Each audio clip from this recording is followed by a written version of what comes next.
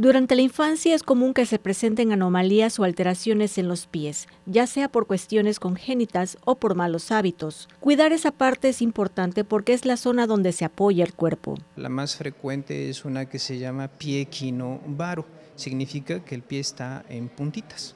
¿Sí? Eh, hay otras alteraciones, eh, como una desviación que le llamamos embaro, que quiere decir hacia adentro, o embalgo, que quiere decir hacia afuera, ¿sí? Eh, el famoso pie plano. Por lo regular, después de los dos años es que ya nos damos cuenta si tiene o no tiene pie plano.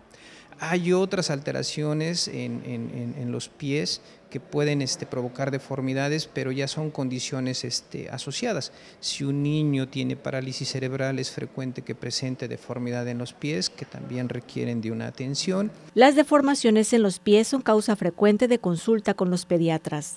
Los padres deben estar atentos desde el nacimiento y en los primeros pasos del bebé algunas de esas alteraciones se manifiestan en etapas más adelante.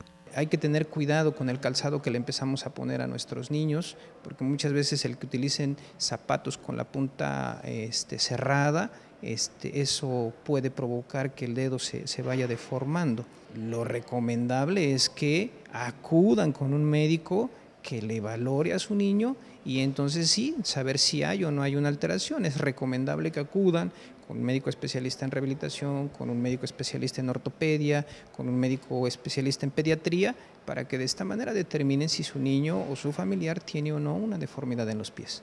La mayoría de las anomalías en los pies se pueden corregir, ya sea con ejercicios adecuados, usar zapatos apropiados y, en casos extremos, con cirugía. En las imágenes Virgilio Pineda, Claudia Cantón Chiu, 10 Noticias.